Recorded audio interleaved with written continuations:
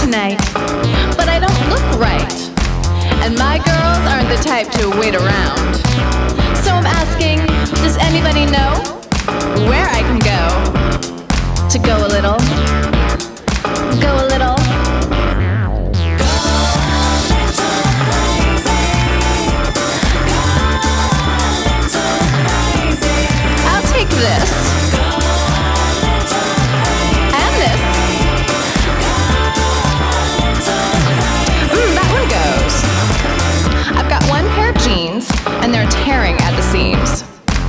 Are made too cheap, or the price is way too steep.